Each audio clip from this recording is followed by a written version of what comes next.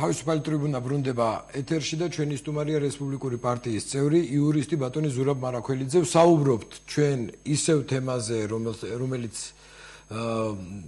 გადაცემის პირველ ნაწილში იყო ნახსენები, ეს არის ხელისუფლების ინიციატივა ფაქტიურად ახალი კანონი, ცვლილებები კანონში პოლიტიკური პარტიების დაფინანსებასთან დაკავშირებით, რომელიც ეხება არა მარტო პარტიებს და რომელიც ემუქრება არა მარტო პარტიებს, ასევე ემუქრება ყველა მოქალაქეს ფაქტიურად, რომელიც საქართველოს ცხოვრობს, იმიტომ რომ მათზეც ვრცელდება. მოგესალმებით ბატონო ზურაბ.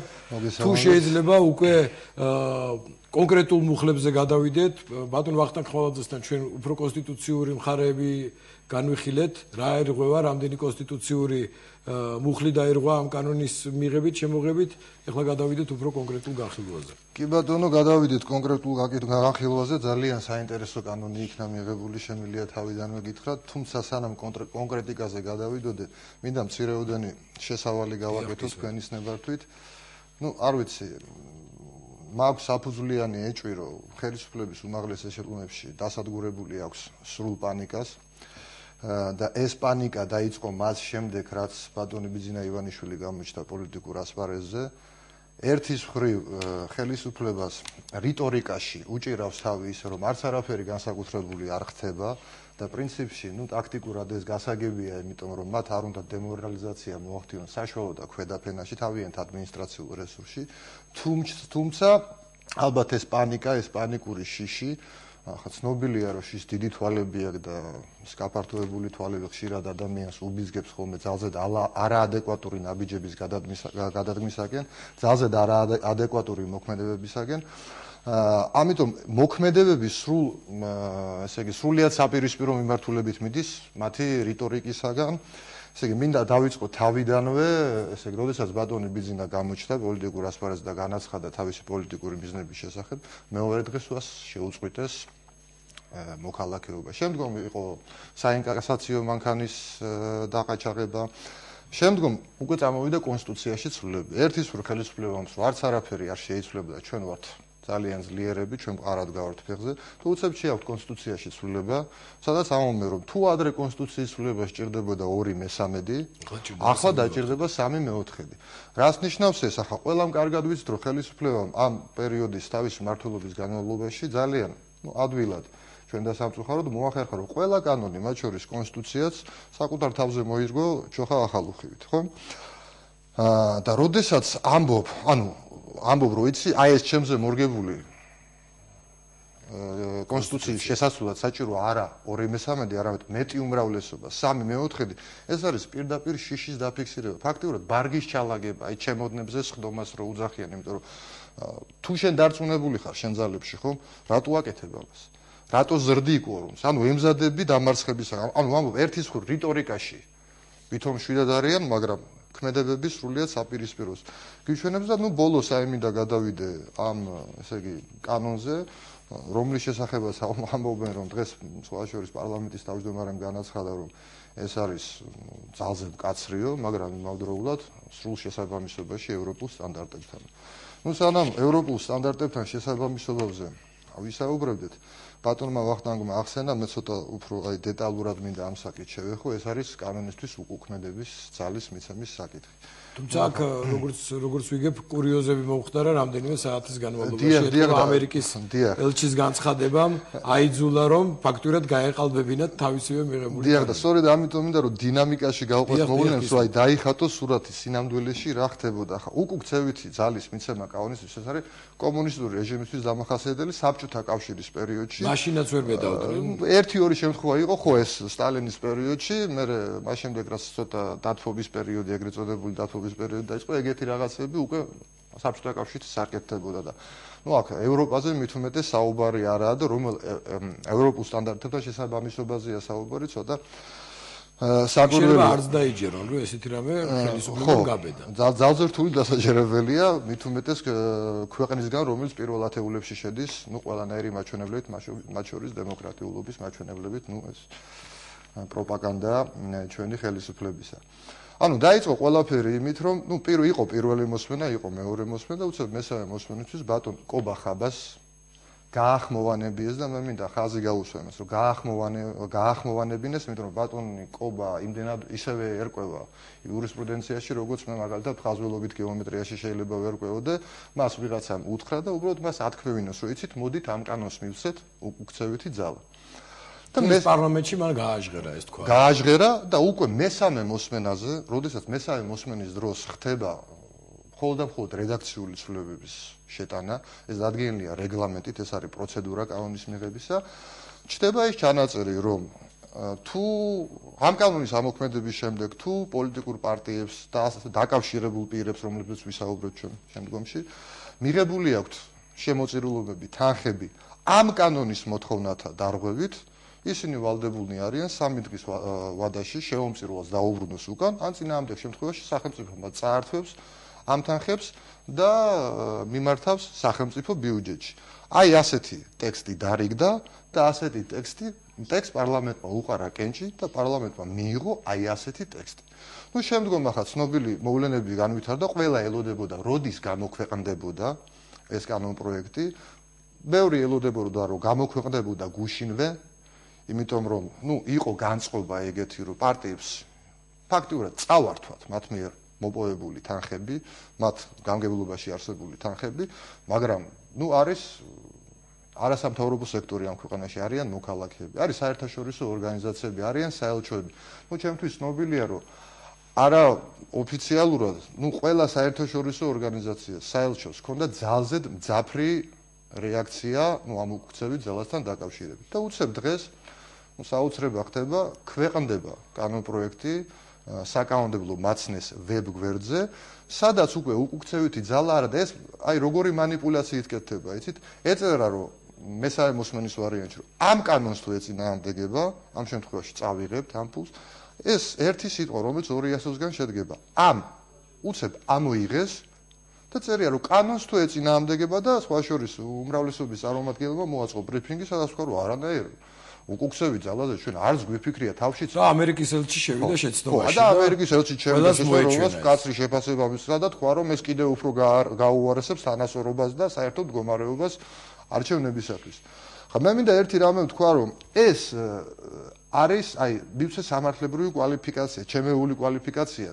ახლა არსებობს სისხლის სამართალში ეგეთი მუხლი. დოკუმენტის გაყალბება. ეს არის სისხლის სამართლის დანაშაული. მესამე მოსმენაზე დარიგდა ერთი ტექსტი პარლამენტმა კენჭი უყარა და უკვე მოს მიღებულ კანონში ვიღაცას, მე არ ვიცი ვინ გააკეთა ეს, შეაქვს ცვლილება ახლა შეიძლება მოცულობი ძალიან პატარა სულ 200 ამოიღო, მაგრამ ძიმეც იყოს ცვლილების. მაგრამ რადიკალურად შეცვალა, რადიკალურად შეცვალა კანონის აზრი. ეს არის გაყალბება და მინდა მიაქციოთ ყურადღება, რომ ეს არ არის ანგარიშ ფაქტურის გაყალბება. ეს არის გაყალბება კანონისა. ეს არის იმ ნორმის გაყალბება, რომლითაც უნდა ვიცხოვროთ ჩვენ თითოეულმა მოქალაქემ და გვაქვს ვალდებულება რომ დავემორჩილოთ ამ კანონს და შევასრულოთ კანონის მოთხოვნები და აი ასეთი დოკუმენტის გაყალბება მოხდა ფაქტიურად. თაღლითობა ელე. აპირებთ თუ არა თქვენი პარტია აპირებს თუ არა ამ კოალიცია აპირებს თუ არა ამაზე რეაგირებას ოფიციალური სახების წეს და სასამართლოს შეიტანოს. დარწმუნებული ვარ რომ რეაგირება მოხდება და არა მარტო პოლიტიკური პარტიების მხრიდან, არა სამთავრობო სექტორებისაგანაც მე იმედი მაქვს რომ საერთაშორისო ორგანიზაციების დააფიქსირებენ თავიანთ პოზიციას ამ საკითხთან დაკავშირებით. არ გონია რომ ეს გადაყლაპოს ამერიკის საელჩომ რომ რამდენიმე დეპუტატმა მინაშვილმა და კუბლაშვილმა აქეთ ჭკუის სწავლება დაუწყეს ამერიკის ელს რომ თუმე ის შევიდა შეცდომაში და კარგად ვერ წაუკითხა. ნუ იცით რა არის ახლა ზოგადად ბევრი რამე შეიძლება ითქვას ენას ძვალი არ აქვს, მაგრამ არსებობს დოკუმენტები. არსებობს პირველი მოსმენისთვის ზარიგებული კანონპროექტები, არსებობს მეორე მოსმენისთვის ზარიგებული, მესამე მოსმენისთვის ზარიგებული და არსებობს ვერსია საბოლოო რომელიც გამოქვეყნდა. ეს აქვს ხალხს ეს დოკუმენტი. ჩანაწერები არსებობს რომელიც არსებობს სტენოგრამები რომელიც ასევე ამოღებული იქნება. ანუ დაიდება დოკუმენტური მასალა. ისეთი მასალა, ну, საიდანაც უბრალოდ გამოსავალი აი ამ ვინც ეს გაყალბება მოახდინა, ხო? არ ეკნება, მას მოუწევს აღიაროს, რომ მოახდინა გაყალბება ელემენტარულად კანონის. კარგით, გადავიდეთ ამ კანონის იმ უხლებზე, რომლებიც ლახავს ადამიანების ადამიანის უფლებას, აზრის გამოხატვის, პოლიტიკური თავისუფლების უფლებებს და ფაქტიურად აწესებს ტოტალურ კონტროლს არა მარტო პოლიტიკურ პარტიებზე, არამედ თითოეულ მოქალაქეზე. კი ბატონო, ესე იგი, ამ ცვლილებებით შემოდის ახალი მუხლი პოლიტიკური გაერთიანებების შესახებ კანონში, ეს არის მუხლი 26 პრიმა, რომელიც ადგენს პარტიისთვის შეზღუდვებს და აგრეთვე შეზღუდვებს იმ იურიდიული და ფიზიკური პირებისათვის, რომლებიც პირდაპირ ან არაპირდაპირ. აი ეს როგორ გავიგოთ სიტყვა არაპირდაპირ? როგორც იურისტს გეკითხებით მაინტერესებს ესე იგი ძალიან რთული გასაგებია. ფაქტიურად კანონმდებელმა თქვა თქვენ როგორც გინდათ ისე გაიგეთო? იმიტომ რომ ნუ ფორმულირებები არის ძალიან ბუნდოვანი. სრულიად გაუგებარი და იცით მე მიჩნდება საფუძვლიანი ეჭვი რომ იმდენად აი პანიკა ისეა გამჯდარი უკვე უმაღლეს ეშელონებში ხელისუფლებისა რომ აღარ იციან რა მიმართულებით, აი კონკრეტული მიმართულებებიც არ იციან ზუსტად საით დააწესონ შეზღუდვები. ანუ აქ რო ჩახედოთ ისეთი ფორმულირებებია, რომ ეს შეზღუდვები ვრცელდება საერთოდ თელ საქართველოს ელემენტარულად მოქალაქემ რო გამოვიდეს და თავისი პოლიტიკური, აი შეხედულება, თავისი პოლიტიკური მიზანი, მაგალითად თქვას რომ იცი, მას არ უნდა ხელისუფლება, ეს ხელისუფლება, ეს რო ხელისუფლება წავიდეს. ელემენტარულად და შეიცვალოს ის, ხო? იმაზე შეიძლება გავრცელდეს. აი, სრულიად არაადეკვატური ნორმა, ანუ თავის ჭკუაში ცდილობენ, რომ აი, ყველა ისეთი ნორმა შექმნა, რომელიც მოერგება მეორე ყველა სიტუაციას. და შეძლებენ ამის გამოყენებას, მაგრამ ეპარებათ ამ პანიკაში ერთი მთავარი დეტალი, რომ აი აქ როცა წერო, აი, ყველაზე ვრცელდება? ა მაგალითად იურიდიულ პირებზე ვრცელდება? აგრეთვე პირზე რომელსაც აქვს აქ იგულისხმება ფიზიკური პირს პირზე რომელსაც აქვს გაცხადებული პოლიტიკური და საარჩევნო მიზნები და ამოცანები. ჩვეულებრივ ფიზიკურ პირს მოქალაქეს. ეს შეიძლება ჩაითვალოს პოლიტიკურ პარტიასთან დაკავშირებულ პირთან. ან აი ასეთ მოქალაქესთან დაკავშირებულ პირზე ანუ ეს არის მეუღლე, მეზობელი, მეგობარი და ასე შემდეგ. ან იმ პირზე, რომელსაც ასეთ მოქალაქესთან აქვს საქმიანი ურთიერთობები. ახლა მოდი გავარკვიოთ რა არის საქმიანი ურთიერთობები. შრომითი ურთიერთობები, კი ბატონო, მაგრამ არის საქმიანი ურთიერთობები, როდესაც მე და თქვენ სადმე დავждდებით და რაღაც თემაზე ვსჯელობთ. შეიძლება საქმეზე თუნდაც. ხო, საქმეზე რაღაც, აი გეგმავთ რაღაცას, ხო? ეს არის თუ არა იგი ექცევა ასევე იცით ეს უკვე ინტერპრეტაციის და ფანტაზიის აბსურდამდე მიდის აბსურდამდე მიდის შეხედოთ ეს კარგი აბსურდი აი იცით რა არის ნაცვლად საპირისპირო შედეგს მიიღებენ შემიძლია თქვა რატომ იცით თუ აი მაქსიმალური ინტერპრეტაციით წავლენ ხო ეს უნდა გავწოდეს მინიმუმ 1 მილიონ მოქალაქეზე. ახლა 1 მილიონი მოქალაქე დასაჯოვან დაიჭირ, ეს ხო აბსურდია გამორიცხულია. ახლა განდი და ინდოეთი შეგვიძლია ახლა ჩვენ გავიხსენოთ. არ არსებობს, ხო? ამის გაკეთების შესაძლებლობა. თუ შერჩევი დაიწყებ, ხო? ვისაც შეარჩევ? ის კაცი გამოვა და გეტყვის, კაცო, მე რო დამიჭირე, იმიტომ რომ თქვი რომ ეს ხელისუფლება უნდა წავიდე. ჩემი მეზობელი ძახის იმას რატო არ ეუბნებიო, ხო? და ასეთი შეიძლება გამოვა. და მათ ხო არ წერია რომ მარტო წასვლაზე, ანუ შეიძლება თუ არა ეს კანონი გამოიყენო მათივე წინააღმდეგ. მართველი კი ბატონო გადავით არა რა თქმა უნდა მარტო წასვლაზე არა უბრალოდ. მე იმედი მაქვს რომ მანამდე მოაფიქრდება და გააუქმებენ იმიტომ რომ ეს შეიძლება ანეკდოტებში შევიდეს ეს ეს კანონი. აშკარად იმიტომ რომ უზარმაზარი ინტერპრეტაციის საშუალებას იძლევა მაგრამ გათვლა ალბათ მათი მხრიდან არის კიდევ რა რომ რა თქმა უნდა წესით უნდა ეხებოდეს მათაც ეს და მათაც აბსოლუტურად ზღუდავს და ნუ ბორკილებს ატებს შეიძლება ასე ვთქვა მაგრამ არის მეორე ვინ უნდა დაადგინოს ეს ვინ უნდა აღმოაჩინოს? ვინ უნდა აღრიცხოს? აღრიცხოს? საქმის ადმინისტრაციული წარმოება ვინ უნდა დაიწყოს? ვინ უნდა მიმართოს სასამართლო სანქციები? ვინ უნდა დაადოს? აი დამრღვევ პირებს ხო? ისევ მათ და ახლა ჩემ შულს ვარ მოვჭრი თავს აი მაგის სხვადასხვა ოპოზიციაზეც გაუჭირდებათ. ეხლა რეალურად რო შევხედოთ ადამიანი რაღაცას ამბობს ის როგორ უნდა გააკონტროლოს და რამდენზე უნდა შეიძლება რა თქმა უნდა. შეიძლება თავს თანამ პოლიტიკური მიზნის გაცხადება ახლა მესამე მუხში უწერიათ იმავდროულად მესამე პუნქტში აი ამ მუხლისა რომ შეზღუდვები არ შეიძლება გამოყენებული იქნეს გამოხატვის თავისუფლებასა და სამოქალაქო აქტივობის განხორციელების წინა. ეს მე დაცინოთ აღარ. იმის შემდეგ რაც დაწერილი იყო მაგის მიწერა. არა, ეს ვიცით, გეტყვით რატომ ჩაწერეთ. ეს არის ის უფლებები, რასაც ძალზე ყურადღებით. ძალზე ყურადღებით და ძალზე მკაცრად ადევნებს თვალყურს ევროკავშირიც, საერთაშორისო ორგანიზაციებიც. ეს არის ერთ-ერთი ფუნდამენტალური და ძირითადი უფლებები ადამიანისა და ერთ-ერთი უმთავრესი ელემენტი ზოგადად დემოკრატიული სახელმწიფოს. უნდა იყოს სიტყვის თავისუფლება და გამოხატვის თავისუფლება. ამას ვითომ წერენ იმათ წასაკითხად, მაგრამ იცით თუ მესამე პუნქტს აიკითხავენ საერთაშორისო ორგანიზაციები, აიკითხავენ ამ მეორე პუნქტსაც. სადაც სრულიად საპირ კითხვა იციან ხომ? რატო მესამე პუნქტს მათო ხო არ წაიკითხალა? ანუ არაადეკვატური ნაბიჯების გადადგმას ნაბიჯებს დგამენ და ნუ სრულიად არაადეკვატური ბატონო ზურაბ ასევე თუ შეიძლება უფრო კონკრეტულად დაფინანსების ოდენობასთან დაკავშირებით პოლიტიკური პარტიების და არის თუ არა საფრთხე რომ ინფორმულირებით რა ფორმულირებითაც წარმოქმნილია ეს კანონი ფაქტურად ხელისუფლებას ეძლევა შესაძლებლობა ნებისმიერი პოლიტიკური პარტია მისის პასუხისგებაში და შემდგომში გაუქმოს ეს პარტიები, გაუქმოს მათ. კი ბატონო, საკმაოდ ესე იგი დიდი და მოცულობითი და მნიშვნელოვანი თემა, ამიტომ დავაჯგუფებ საკითხებს და ესე ცალ-ცალკე საკითხებად გავყვეთ. ну პირველი ის ყველა საფასო სანამ დავიწყებდეთ მოусმინოთ მაყურებელს როგორც ვიცი კითხვით არის მოგესალმებით გისმენთ დიახ, გამარჯობა გენაცვალე. შეკითხვა მაქვს მე თქვენთან. აი მაგ კანონებში დიდათ არა ვარ ჩახედული, მაგრამ ეს ვიცი რომ ნაციონალური მოძრაობა წელიწადში ჩვენების წინ 6 თვის განმავლობაში აქტივისტებს ყოველ სადარბაზოში ყავს ერთი კი არა, ორი ან სამი.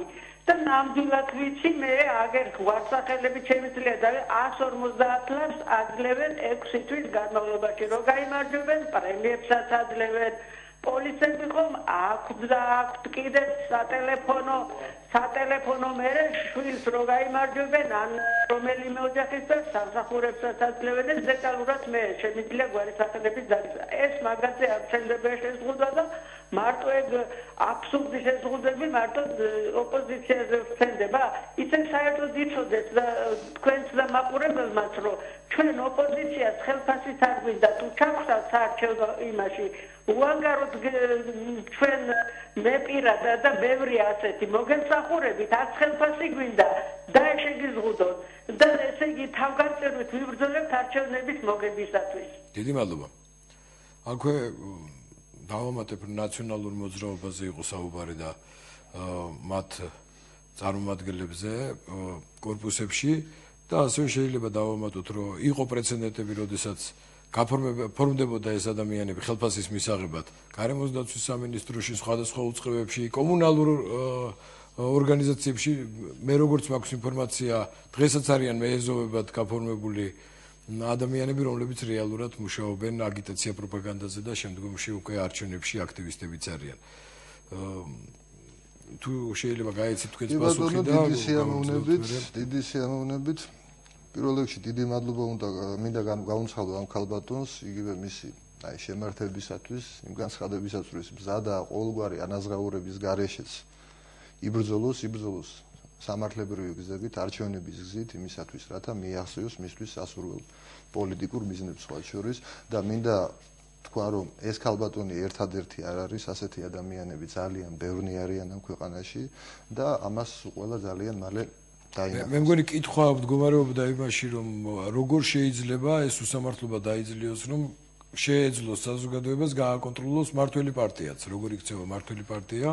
როგორ როგორ ფინანსდება ის და რა ხერხებით ახერხებს ამ თანხების მობილიზაციას საიდან მოაქვს ეს თანხები და როგორ ხარჯავს შემდგომში? ისევ გეუბნებით ამის გაკეთება და შეეხება თუ არა ეს კანონი მე ვფიქრობ ესეც ამის გაკეთება შესაძლებელია. დოკუმენტური მასალას მასალის შეკრება შესაძლებელი იქნება, თუმცა ისევ და ისევ გადაწყვეტილება უნდა მიიღოს ხელისუფლება, მაგრამ მე ისევ გეტყვით, ის რომ ხელისუფლებას აქვს და ეს გათვლა აქვს, როცა მე შევძლებ რაღაც გზებით თანხის გადახდას თალგეული პირებისათვის და ამით თავს უპირატებს მდგომარეობას ჩავიყენებ. დამიჯერეთ, რომ ბევრად მეტი ამ ქვეყანაში ადამიანები, ჯერ ერთი, ვინც ყოველგვარი ანაზღაურების გარეშე იმდენად მობეზრდათ აი ბევრი რამის რაც ხდება ჩვენს რეალობაში რომ ზადარიან ანაზღაურების გარეშეც გაკეთეს და მეორე მე მინდა სრული პასუხისგებლობით განვაცხადო რაც კანონიც არ უნდა მიიღოს ხელისუფლება. პოლიტიკურ პარტიებს მაინც ექნება დაფინანსება მაინც მოიპოვებენ ისინი მიიღებენ ფინანსურ სახსრებს და მინდა ხაზი გაუსვა ეს ფინანსური სახსრები ხა თავისთავად ფინანსური სახსრები არ არის საინტერესო და არაფერს არ წარმოადგენს.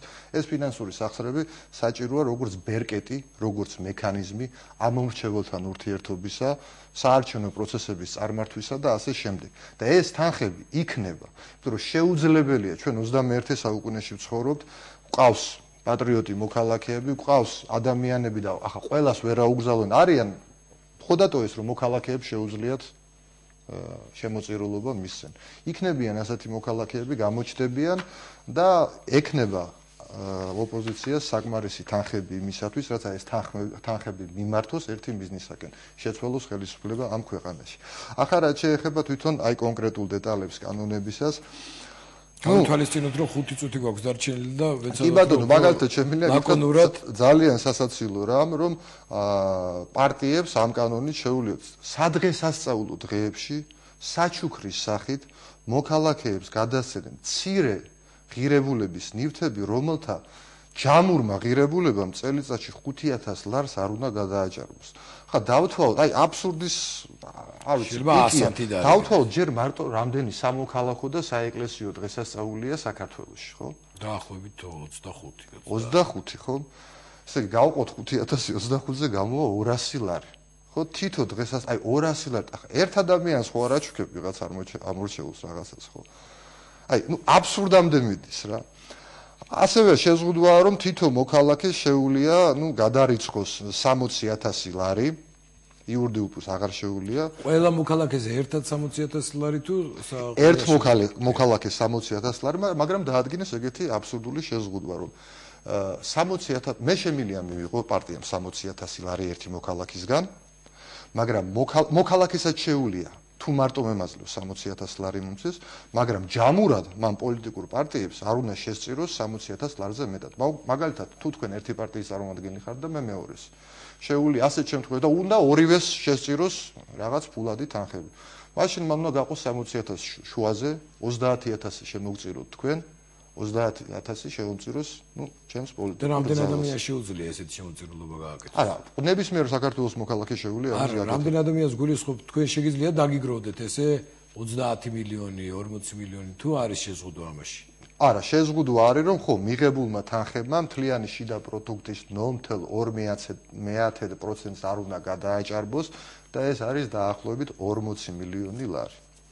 ну მე მინდა გითხრათ რომ არ დაგჭირდება ჩვენ 40 მილიონი ლარი ბევრად უფრო ნაკლები თანხები შევაძლევ მოვახერხებთ იმ მიზნების მიღწევას რისი მიღწევა გვინდათ და კიდევ ერთი აი დაუშვეს ხო აი გასახდა როგორც ძალიან პოზიტიური ნაბიჯი პარტიების სასარგებლოდ გადადგმული ნაბიჯი ეს გაცხადა კიდევ საინფორმაციო საშუალებებით რომ მიიღეს რეგულაცია რომლითაც მიეცათ პოლიტიკურ პარტიებს უფლება რომ მათ აიღოთ კრედიტი კომერციული ბანკებისგან და ეს რა კარგი რამე გავაკეთე. სინამდვილეში რა ქნეს, რომ აგრძელეს კრედიტ საღება ფიზიკური პირისგან, აგრძელეს კრედიტ საღება იურიდიული პირისგან, თქვენს რომ მხოლოდ და მხოლოდ კომერციულ ბანკებსო და ისიც პირველი მოსმენის ვარიანტში იცით რა ეწერათ, რომ ბანკს, ანუ შეზღუდვას უკვე პარტიას კი არ უდგენ, უდგენ კომერციულ ბანკს, რომლის საქმიანობის მთავარი, ну არ ვიცი, ფორმა არის კრედიტის გაცემა, რომ პროცენტით მიიღოს მოგება დავიდეს მოგებაზე, ხო? ეუნები ეწერა რომ 100000 ლარზე მეტიო ჯამურად პოლიტიკურ პარტიებს ყველას ერთად. არ შეგიძლია მისცეთ. იმდენად აბსურდული ნორმა იყო, ყველა დაინტერესებულ პირს შეუძლია გადაამოწმოს შევიდეს ვენეციის კომისიის ოფიციალურ ვებ გვერდზე, სადაც დევს აი ამ ცვლილებების პირველი მოსმენის ვერსიის ოფიციალური თარგმანი ინგლისურ ენაზე ოფიციალურად დევს ეს პროექტი ვენეციის კომისიის ვებ გვერდზე. ამ თარგმანში აი ეს შეზღუდა კომერციული ბანკებისთვის ამოღებულია ანუ თარგმანში ეს ნორმა რაც ეწერა ქართულ ვარიანტში და იყო ჩვენს ნერვების მოსაშილად შეიძლება ასე ვთქვა, ну თვითონაც იცოდნენ იმდენად აბსურდული იყო. ინგლისურ ვარიანტში არ არის. აქაც ნუ გაყალბებასთანაა. ეს უკვე მეორე შემთხვევა უკვე ამიტომაც ვენეციის კომისია ეს ამ საკი ამ მუხს თავის დასკვნაში საერთოდ არ შეეხო. იმიტომ რომ იქ ეწერა რომ ახლა შე პარტია შეუულია დაუდგინო მაქსიმალური ზღვარი, რამდენი კრედიტი შეიძლება აიღოს. ეწერა რომ პარტიას ეგზალება რომ 100000 ლარზე მეტი აიღოს კრედიტი. მაგრამ ის რომ ბანკ შეუულია გასცეს ხოლმე და ხოლმე 100000 და თან ეს როგორი გათვლა იყო ალბათ, იცით რომ პირველი ჯამურად შეიძლება 100000 გაცემული, თუ დღეს მილიონზეა საუბარი, მაგრამ 100000 გაცემულიყო. პირველი ვინ მივიდოდა ბანკებთან? აიღებდა 999000 ნაციონალური მოძრაობა. ბევრი ბანკი უარს ვერ გაუბედავდა, ხო? დაარჩენ ყველა პარტიებს ადარჩებოდა 1000 ლარი უკეთეს შემთხვევაში გასანაწილებლად. ნუ ასეთი ფოკუსი იყო ჩადებული, მაგრამ ნუ ახლა ადამიანი ვინც ელემენტარულად ერკვევა საკითხებში წაიკითხავს, მიხვდებოდა ახლა მით უმეტეს არა საუბარი ისეთ ძალიან მაღალ კვალიფიციურ ხალხთან, როგორიც თავმოყრილია ვენეციის კომისიაში, ამიტომ ამოიღეს და გადააგზავნეს სრულიად სხვა ვარიანტი. ну ახლა სამწუხაროდ ჩვენ დრო ცოტა გრჩება, მაგრამ შემილია შეგიძლია დაახლოებით ერთ წუთში ჩატიოთ თქვენეული ხედვა რა ბედი ეწევა ამ კანონს. ფაქტურად ჩვენ რასაც საუბრობთ, კანონი არის არა მარტო კონსტიტუციური, არა მარტო შეინიშნება აქ კრიმინალიც, რა თქვენ რასაც საუბრობთ, რომ არის გაყალბების ადგილი, არის აბსურდულიც. ანუ რთულია რომ ამ კანონმა იმუშაოს და თუ იმუშავებს ეს კიდე მეორე პრობლემა იქნება. როგორ ფიქრობთ, დაახლოებით ერთ წუთში რომ მითხრათ, რა ბედი ეწევა ამ კანონს? შევეცდები ჩავეტიო ერთ წუთში, შემილია ერთი დანამდვილებით გითხრათ, რომ ამ კანონზე ეს რეაგირებების დასაწყისია მხოლოდ და იქნება ძალიან მრავალმხრივი, ძალიან მრავალფეროვანი რეაგირებები, სრულიად სხვადასხვა უწყებებისგან, ორგანიზაციების და ასე შემდეგ. მე დანამდვილებით ვერ გეტყვით რა ბედი ეწევა ამ კანონ პროექტს, იმიტომ რომ ისევ და ისევ ვიმეორო იმდენად შეშინებულია და ისეთ პანიკაშია ხელისუფლება, რომ სრულიად არაადეკვატურ ნაბიჯებს დგავს და ძალზე რთულია იმის გათვლა თუ შემდეგი ნაბიჯი რამდენად ადეკვატური იქნება, მაგრამ ერთი რამ შემილია დანამდვილებით გითხრათ. რაც არ უნდა მიიღოს ხელისუფლებამ. ის კურსი, რომელიც არის დღეს არჩეული, რომ ხელისუფლება უნდა შეიცვალოს არჩევნების გზით, ეს კურსი, აი ეს გადაწყვეტილება კიდევ ერთხელ უჩვენებს, რომ ხელისუფლება სწორედ ამ გზის ეშინია და მაქსიმალურად ამ აბსურდული გადაწყვეტილებებით ცდილობს ხალხი გაიყვანოს ქუჩაში, სადაც თავს უფრო ლაღად გრძნობს და მეტი იმედები აქვს. ამიტომ მე შემიძლია დანამდვილად თქვა, არჩევნები ჩატარდება და ამ არჩევნებში ხელისუფლება დამარცხდება და დასრულდება ის, რაც მოხდება. დიდი მადლობა. შეგახსენებთ ჩვენი სტუმარი იყო რესპუბლიკური პარტიის წევრი ბატონი ზურაბ მარაქველიძე. დიდი მადლობა ყურადღებისთვის. კარგად ბრძანდებოდეთ.